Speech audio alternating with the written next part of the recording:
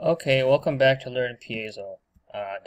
and today we're going to be covering a uh, a different way to look at piezoelectricity, and this is looking at it through a similarity to uh, thermal expansion.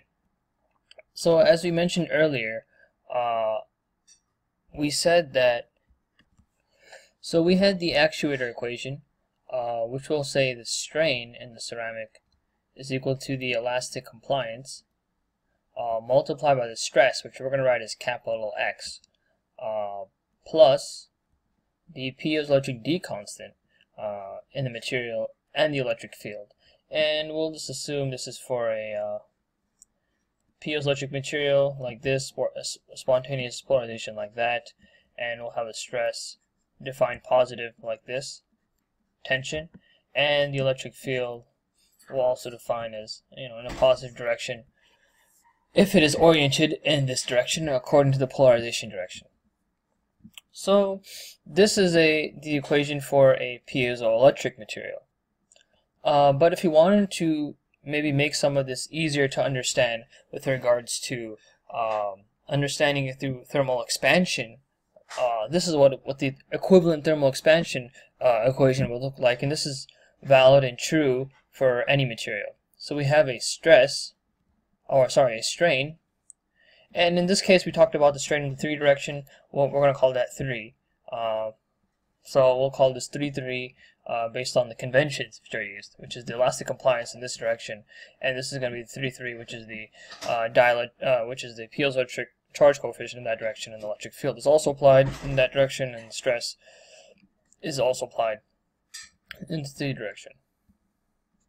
So the strain now, the strain in the three direction uh, for the for the other case is going to have the same effect. So there's going to be some type of compliance, and, and to remind you, compliance is one over the Young's modulus, the bulk modulus. Uh, so we're going to have that, and we're going to have some stress. Obviously, you for any material, you apply a stress, you'll get some strain according to its compliance. We'll say that's in the three direction. Um, and now we're going to add this uh, to a thermal expansion coefficient. So change in temperature is going to result in a change in strain. So this looks very similar to our piezoelectric equation. You know, except that we have this temperature change uh, dictating strain, uh, and in and in the piezoelectric equation we had electric field. And obviously, because uh, piezoelectric materials are real materials, they have this thermal expansion uh, relationship. But here, we're drawing a parallel in order to help you and help me understand what is you know what is piezoelectricity or how can I model it using concepts I may already be familiar with. So here we're pretty much we're very familiar with thermal expansion. Uh, you know as you know as materials heat up, they change you know shape, they get a little bit bigger. So the difference in, in between thermal expansion and the piezoelectric effect, the converse piezoelectric effect is this. When you heat a material, generally the entire material will expand. So if you have a material such as this, and you heat it up, you increase the temperature, you're going to get a bigger material. So the material will, you know, let me exaggerate a little bit. The material will get bigger and originally it was let's say this size. And then it grew in all directions. So and both in the length the base and the width or the height uh, all these directions increased in dimension. However with the piezoelectric effect as we know if you apply a electric field in this direction what we're going to get is that the material is going to shrink in the opposite direction and it's going to expand in the direction of the applied electric field in this case. And obviously, also, if you applied the electric field the opposite way, the material would get would uh, expand in the uh, uh, the width direction, and it would shrink in the length direction if you apply the electric field opposite to the polarization direction. So in this way, if you want to define uh, some type of uh, anisotropy uh, in this case, uh, we would say that the electric, the piezoelectric effect. Sorry, this is a 3, 3. Uh, assuming that's under constant electric field, and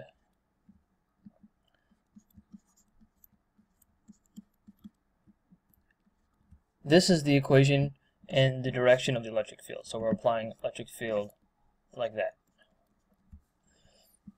Also, if we were thinking about this way, so we'll call this 3, and we'll call this direction 1.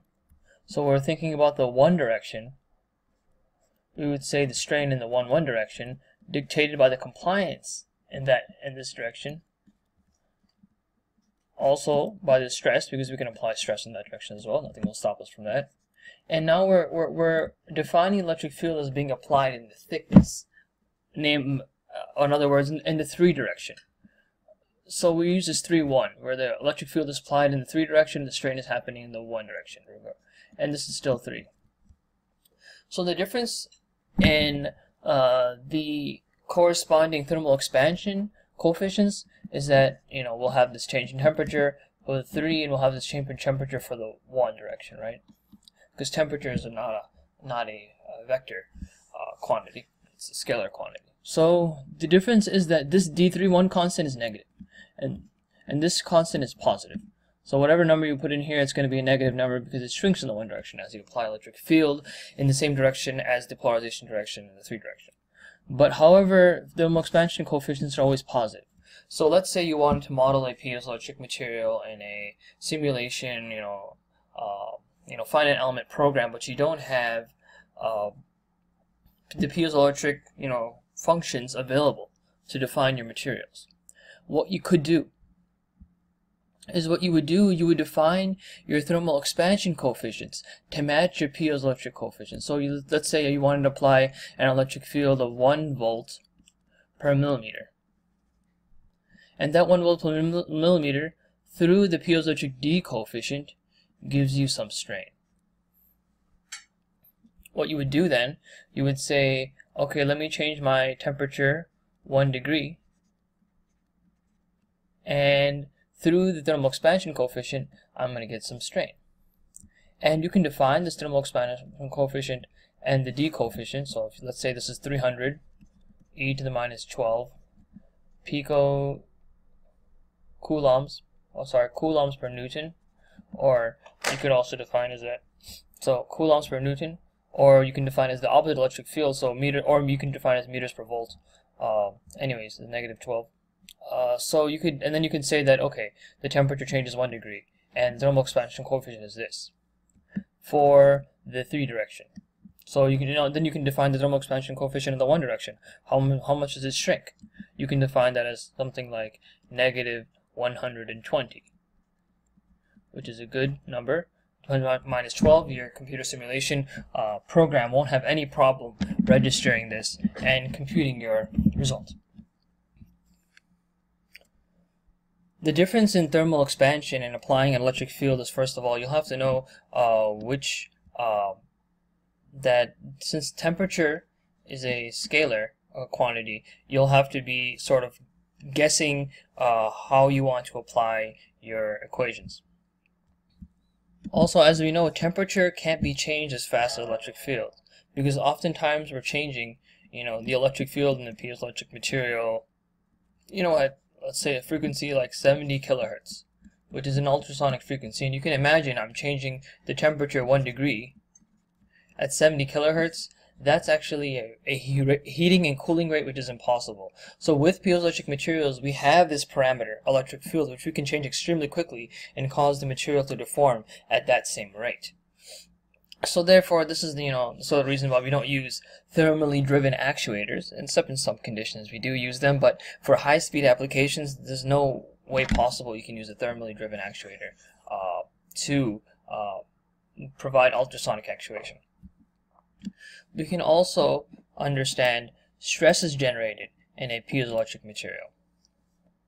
So I I gave we gave this equation stress equals um, the compliance times the stress uh, plus the thermal expansion coefficient multiplied by the change in temperature. We're just going to leave it in these general terms. Just remember this is negative for uh, for in three direction and and positive, sorry, negative in the one direction and positive in the three direction, which is the polarization direction.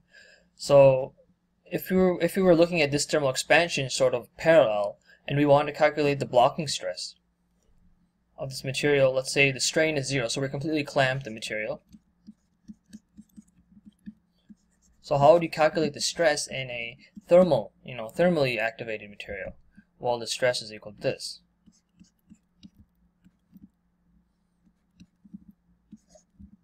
So if we increase the temperature, and we're talking about the three direction where this is positive and this would be positive. So you would actually end up getting a stress generated which is opposite to the temperature.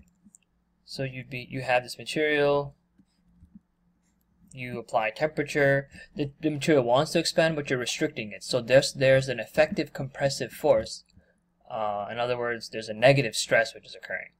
And this is the exact same thing which happens in a piezoelectric material. When you have a piezoelectric material, we call this E, we have this boundary conditions, let's call that 3333 plus D times the electric field. Assuming, let's say, that we clamp, completely clamped the material, uh, then we want to say that the ne negative of the compliance in the 33 direction and the then the 3D direction equals uh, D times E. So in the same case, we get a stress developed in the material due to the electric field. Similar in a similar way, we would get it uh, developed in the uh, piezoelectric material uh, as well. And obviously, you can see that hey, if you allow some strain, if you define that some strain occurs, uh, for example, this is non-zero. For example, let's say zero, so 0 0.1 microstrain, let's say it's one microstrain, then you would you could actually define that. You would say that whatever strain did occur minus the stress which is occurring due to this clamping force, because obviously there's no true clamping uh, ability. You know, the material is always going to deform a little bit uh, along with the uh, material it's clamped onto. So if measuring that strain and, and measuring the uh, electric field applied, you can actually also calculate the stress which is occurring in the material uh, due to that strain which is which which is also induced from the uh, electric field. So in this video, we draw a very important parallel, and this may help some people understand piezoelectric materials a little bit better by this relationship to uh, thermal expansion.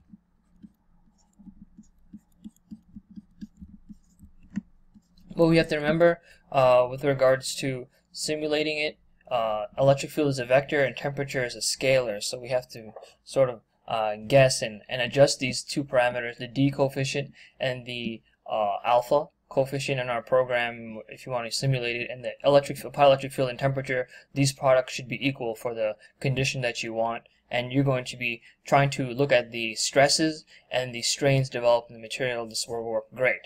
Except there needs to be one uh, addition. Normally you don't have any negative normally you don't have any negative thermal expansion coefficients but you'll have to you'll have to define negative thermal co uh, expansion coefficients in the directions which are not aligned to the po polarization direction. So you'll have to define your uh, direction you know your polarization direction thermal expansion coefficient positive and you'll have to define this as negative. In the same way the 3 coefficient is positive. You apply electric fields in, in the polarization direction you get a positive displacement. But however these are negative quantities. So accounting for those as well uh, you'll be able to simulate and hopefully calculate stresses and uh, hopefully these concepts to make piezoelectric piezoelectricity uh, a little more tangible. Thanks for watching.